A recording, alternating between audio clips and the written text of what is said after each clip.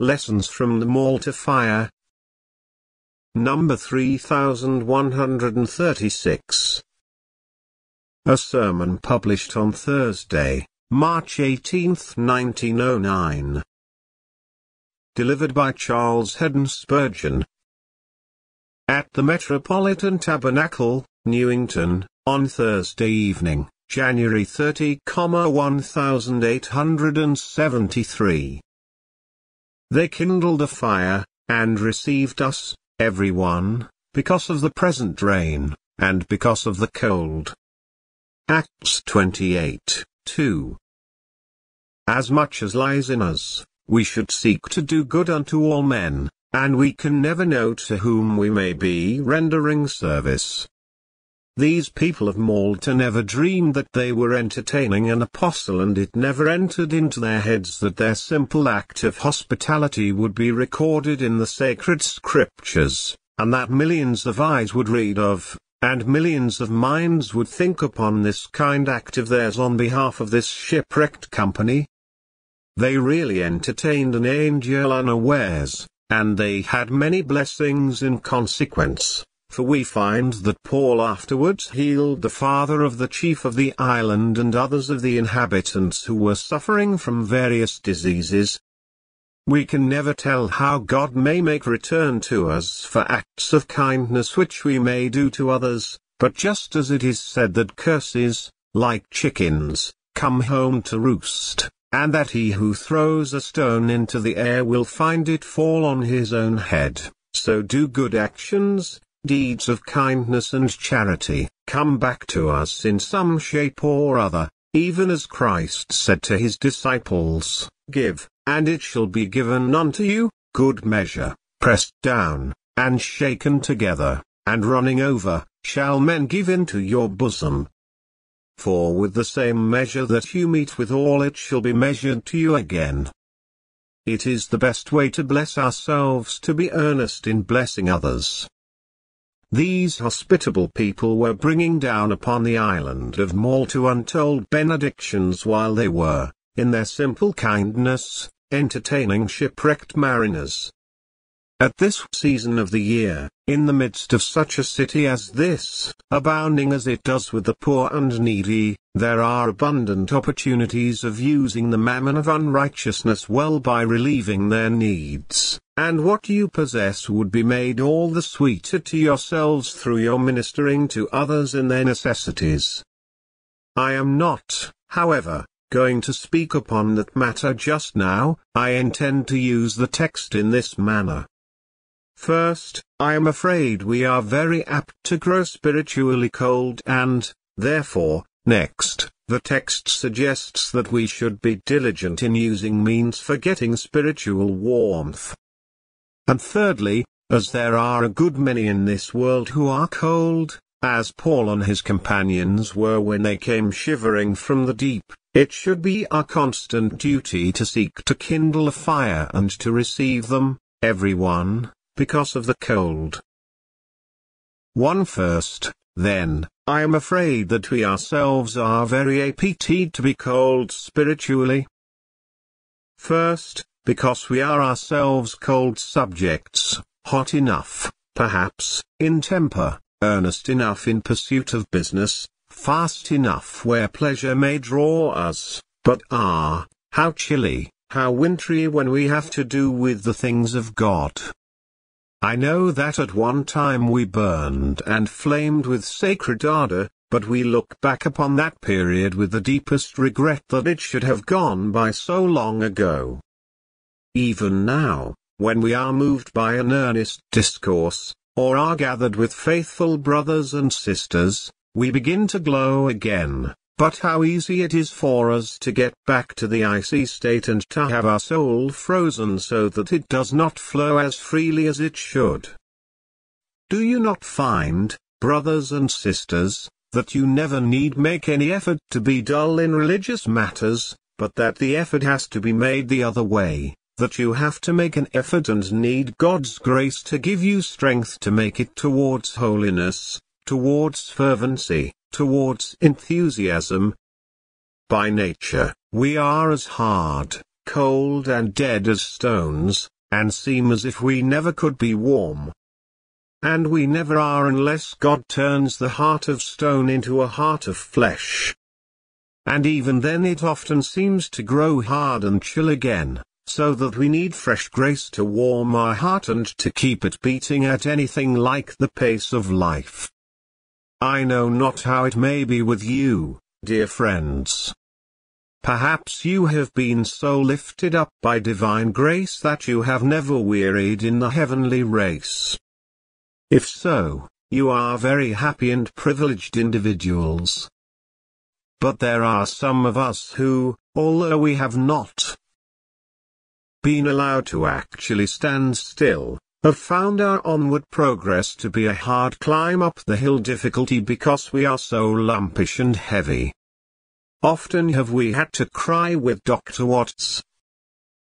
Come, Holy Spirit, Heavenly Dove, with all your quickening powers, kindle a flame of sacred love. In these cold hearts of ours.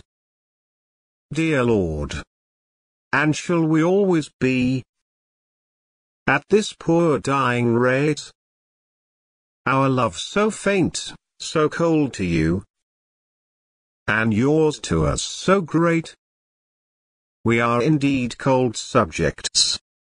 Just compare your state of heart, for a while, with the ardor of apostles, confessors and martyrs who lived and died for Jesus. Compare, or rather, contrast yourselves with some other children of God whom you have known, whose fervent prayers put you to shame and whose many acts of self-denial, and whose whole persevering service now rise before you to make you blush. Above all, contrast yourselves with your dear Lord and Saviour, he was a veritable flame of fire, but what are you? Alas! Alas, what am I? Cold, cold, cold. Even his great love scarcely warms us to anything like true Christian affection. We can think of hell with its unutterable horrors and yet be scarcely moved. We can think of heaven with its indescribable glories and yet be scarcely affected. We can turn to you, O you blessed Christ of Calvary, and look upon your ghastly wounds, yet is our soul scarcely made to melt. It is sad that it should be so, but mournfully true is it that we are cold by nature. But then, besides that, we live in a cold country, who that has to move about in this world does not know that this is true? Not only are we so chilly by nature that even when we live in the torrid zone of revival, we can scarcely keep ourselves warm, but, alas, we are often compelled to be where everything is like the Arctic regions. You who have to spend most of your time in business, do you meet with many in the market or on the exchange who help you to make progress in the divine life? You who have to go to work with other workmen, do you meet with many who toil for their bread who speak earnest words for Jesus? I ask you who live as servants in the house, or you whose occupation calls you abroad, do you meet with many who aid you spiritually? Have you found this world helps you join to God? In the olden time, it was a world lying in the wicked one and God's people were strangers and foreigners here, and I fear it is still so. Our very employments, as they engross our attention, take our thoughts away from higher things and so tend to chill us.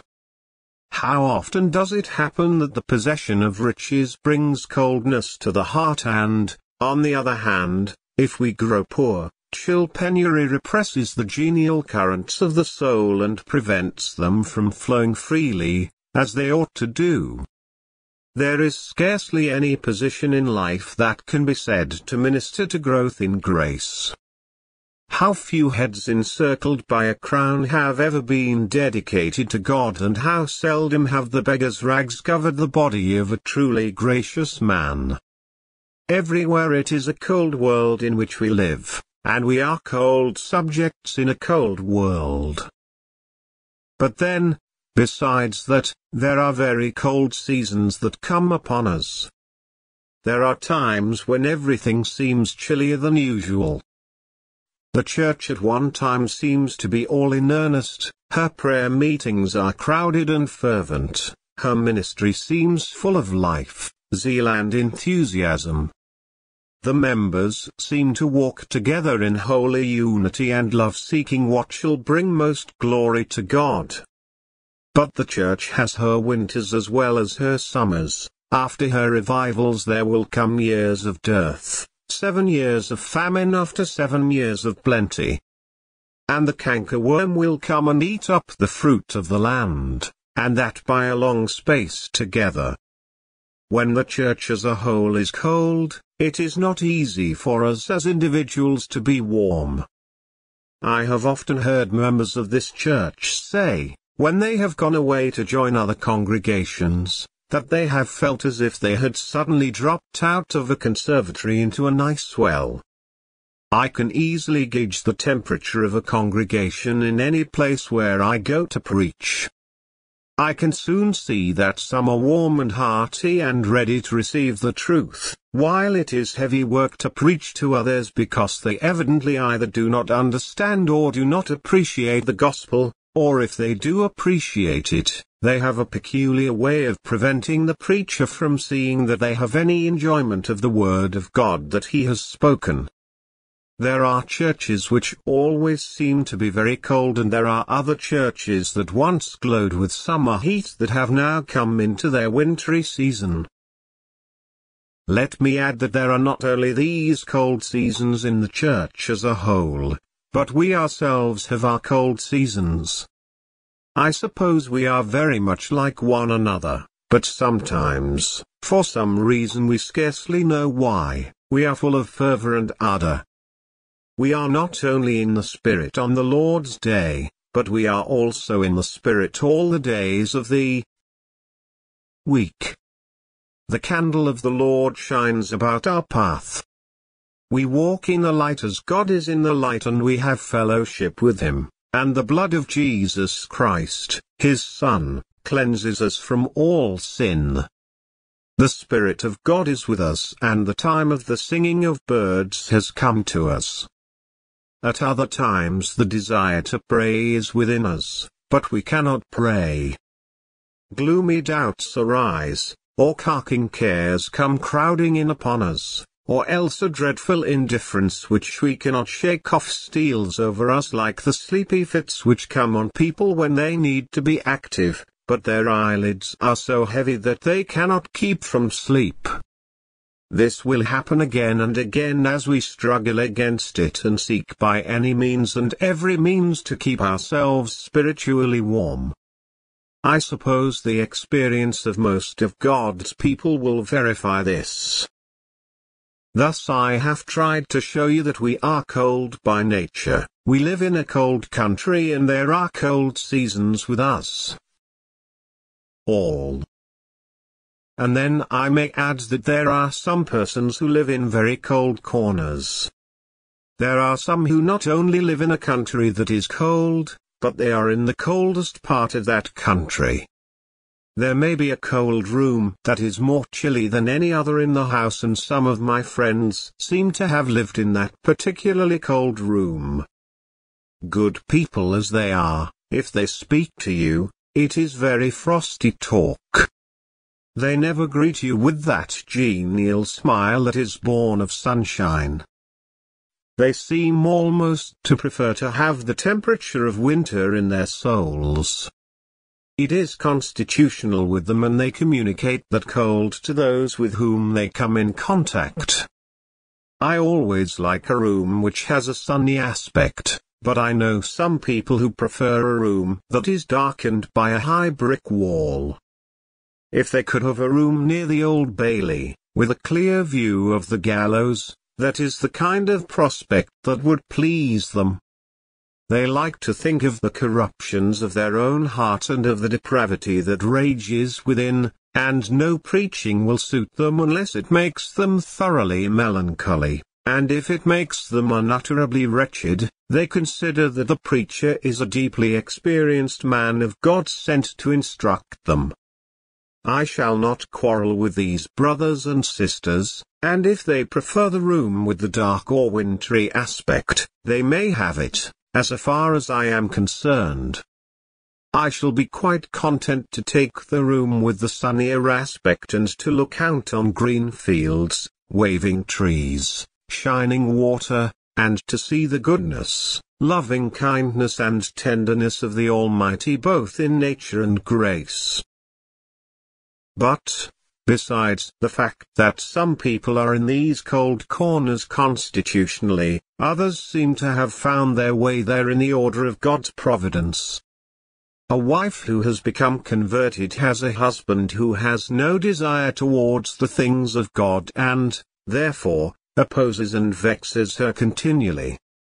A Christian is living with another Christian of totally opposite views and doctrines, they ought to have fellowship with one another, but they do not, and differences constantly come up. Then there is a Christian whose unhappy lot it is to live with persons who have no sympathy whatever with true religion. Another Christian man is thrown, not by his own choice, but unavoidably amongst those who continually ridicule him, or he is compelled to dwell with fellow Christians who are all of the cold school and who freeze him. Or what is perhaps quite as bad, a Christian is compelled to live where he has no one to assist him with a word of sympathy, none with whom he can take sweet counsel and walk to the house of God in company. These are some of those who live in a specially cold corner. And if you are among them, I would say to you that if you cannot get out of that cold corner, you must, above all others, kindle a fire because of the present cold. Above all others you must give good heed to what I shall have to say to you directly about maintaining the warmth of the heart. As you have the severer trial, you must be the more earnest in overcoming it. 2. I will say no more about the cold lest you begin to shiver while I am speaking of it, but we will now come to the kindling of the fire. Thank God he does not leave us without some means of becoming spiritually warmer. There is an abundance of fuel to overcome the cold. The Christian being subject to coldness of heart, God has provided him with the means of kindling a spiritual fire that may make him warm and keep him warm. The first great fire is the Word of God. Is not my word like a fire, says the Lord? It is so in many ways, but especially because it has such a warming influence. When we are spiritually cold and we go to hear the word preached, how it warms our hearts. Brothers and sisters, have you not often proved it to be so? You have been trembling, downcast and almost distracted, and you have said, I will go and inquire at the hand of the Lord, and God has given you a message that has so changed your feelings that you have gone out with unspeakable joy blessing God that your feet have trodden that floor which has become sacred to you through the visitation of God's Spirit.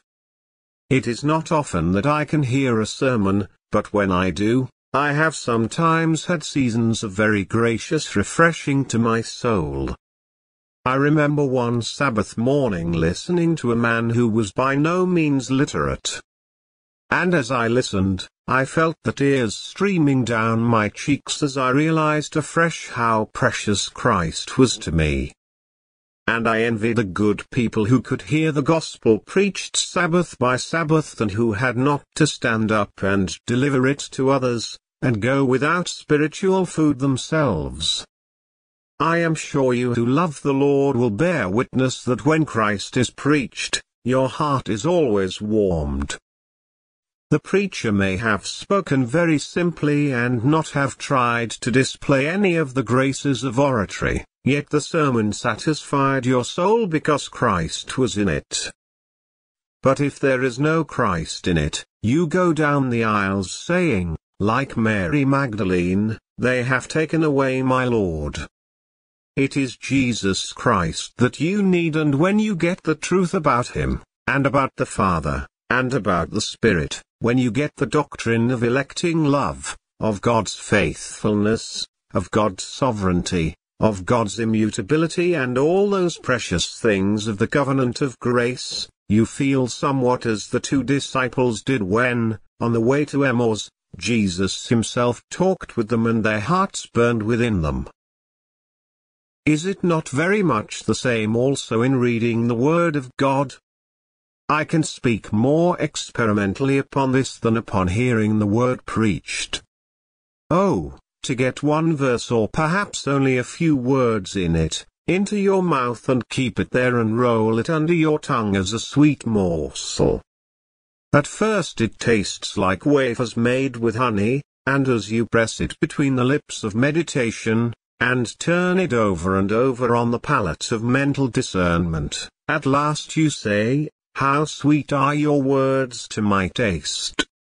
Yes, sweeter than honey to my mouth. So the Word of God begins to warm your heart. You asked if there was any love thee, and now it begins to flame out towards God.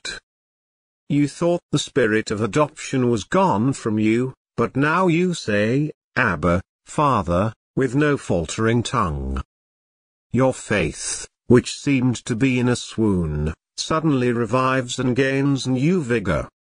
Ah, brothers and sisters, read the scriptures diligently when you are passing through these cold seasons.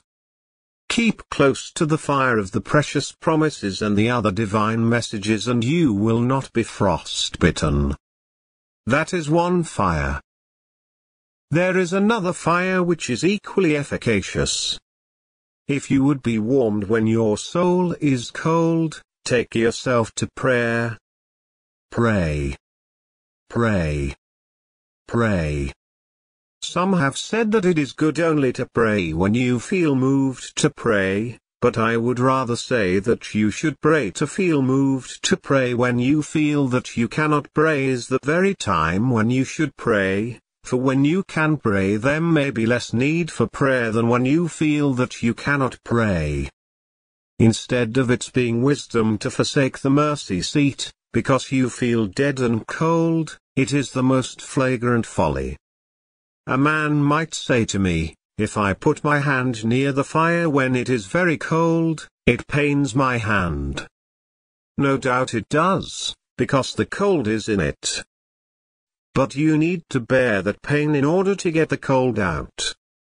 So, when we try to pray when we feel dead and cold, the very trying to pray makes us feel an inward pain, but we must try, and keep on trying. Prayer is our very life and is essential to our health and our growth.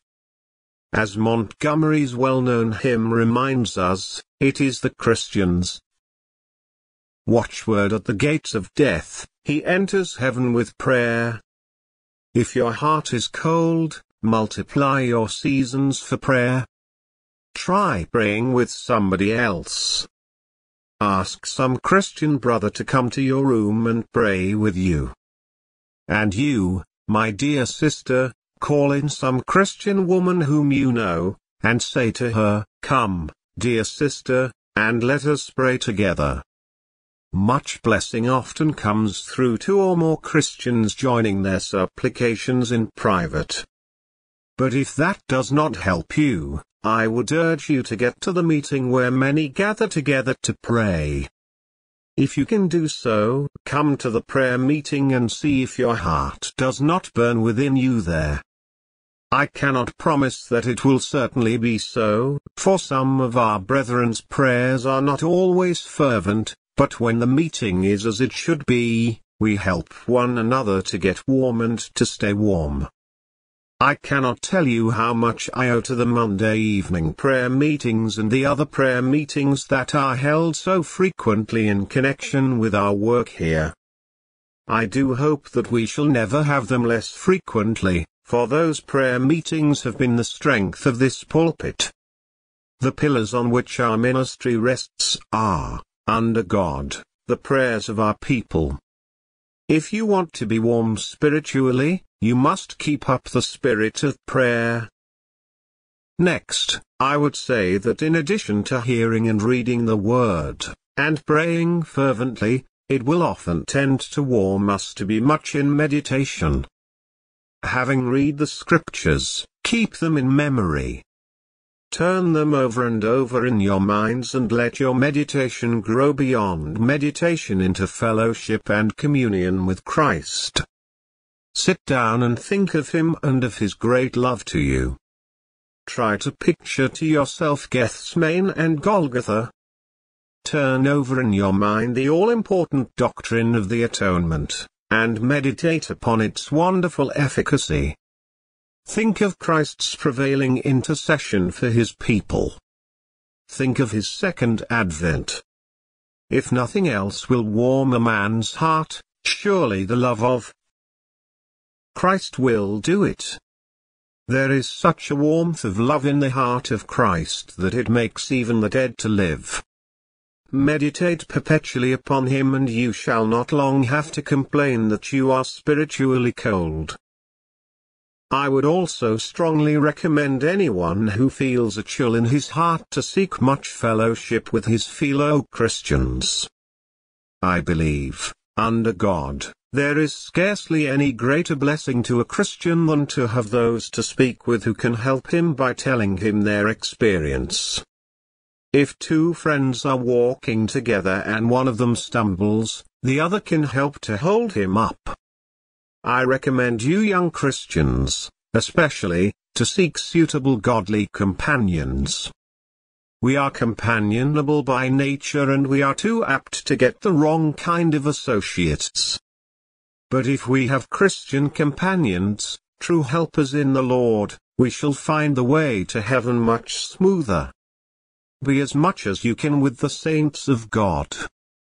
I have sometimes spent an hour with a congenial spirit, a man whose heart has been warm with love to his master, and when he has gone I have felt that I could bless God for having had the privilege of talking with him, yet that very man has said that he thanked God for that hour because of the good he had got from me, while it seemed to me as if I had got all the good and had given nothing in return.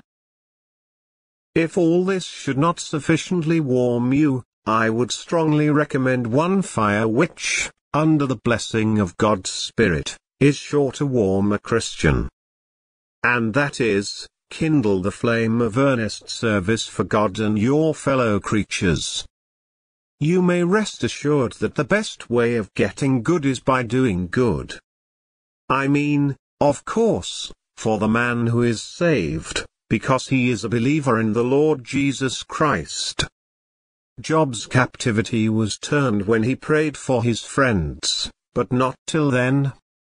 Christ's disciples had all their baskets empty, but there was a boy in the crowd who had a few loaves and fishes. I have no doubt that the disciples, as well as the people were hungry. But they had nothing to eat except through feeding the multitude with the loaves and fishes that their master had blessed. When the people were fed, the disciples also were fed, and when you are awake to the necessities of others and begin to help them, you will find God blessing you. I believe that many professing Christians are cold and uncomfortable because they are doing nothing for their Lord. But if they actively served him, their blood would begin to circulate spiritually and it would be well with them. You know what the farmer in the country says to his boys, you say that you can't warm yourselves by the fire? Well, then, just go out into the barn and do something that needs to be done, or go and attend to the horses in the stable and very soon the boys feel a good deal warmer and it is only because they have had something to do. And Christian people who want the minister to preach to them this doctrine and the other, if they had something to do for Christ, would be all the better for it. Let the preacher take care to keep up a good fire and put on plenty of the coals of sound doctrine, but that alone will not warm the people. But the moment they begin to seek to do good to others, they will have kindled a fire which will warm themselves as well as others. 3. Our third point is to be that like these barbarous people, we should not simply think of ourselves in the cold, but seek to kindle a fire for the good of others, because of the present cold. It is a very cold period, spiritually, just now. The professing church seems to be frozen so hard that those fine skaters of modern growth have a fine sheet of ice on which to perform their wonderful evolutions. If God would send us a gracious thaw, they would soon disappear. When the church is filled with the Spirit, her members do not find any room for these modern foolish notions about high culture which usually spring from ignorance of that which is really worth knowing. If God will give us back a really living church, we shall soon find that these evils have vanished. Just as the iron gets bright when it gets hot, so let the Church of Christ get red hot and it will soon throw off all this rubbish. What is the first thing towards warming people at the fire? The first thing is that we must get a flame. And though the Indians are said to make a flame by rubbing two pieces of wood together, I do not think that you and I will ever get it in that way. There is no way for us to get a revival fire but from God, Himself. If anybody can get up a revival, as it has been said that they do, in any other way, it is not worth having. The only kind of revival that is worth having is that which has come down from God, not that which has been got up by men. The fire which fell upon Elijah's sacrifice on Carmel was the fire of the Lord which fell from heaven and which consumed the burnt sacrifice, and the wood, and the stones, and the dust, and licked up the water that was in the trench. We need that kind of fire, and if we have only two or three praying people who feel that they would die of a broken heart if the Church of Christ should continue in the condition in which she now is, we shall soon see a different state of things. The heart of God is still moved by the prayers of his people. His hand is still stretched out in blessing in answer to the cries of his children. The kindling of the fire of revival must be from the live coal from off the heavenly altar.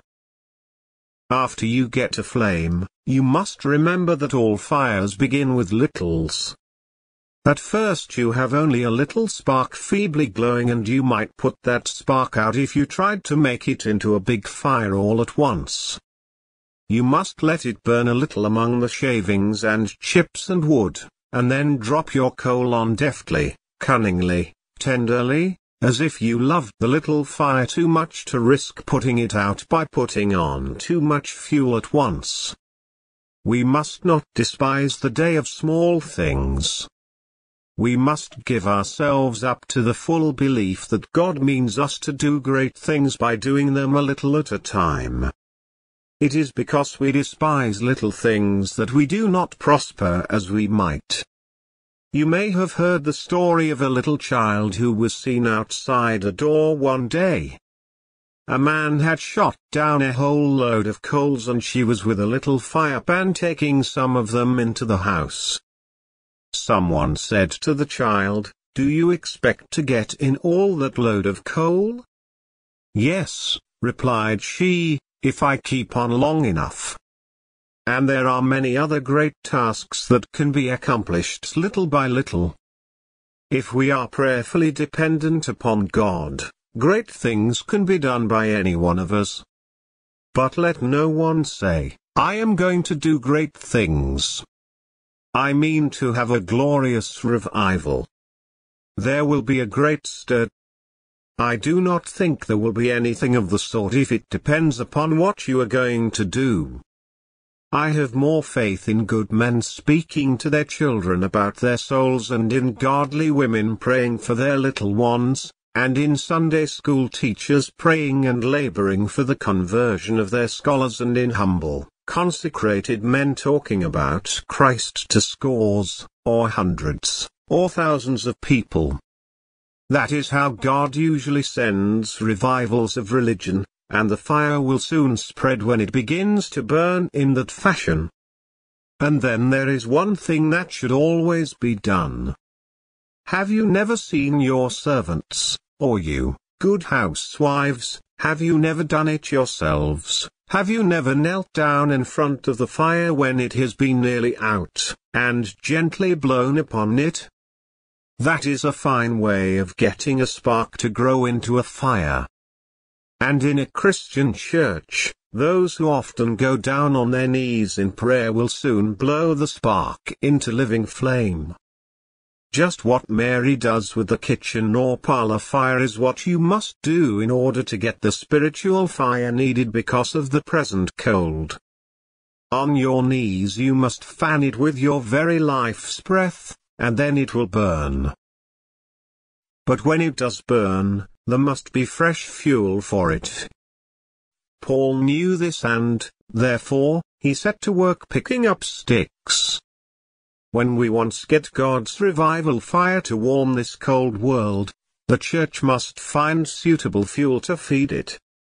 We must get some from this brother and some from another brother, and from our good sisters, too, and we ourselves must be the glowing coals.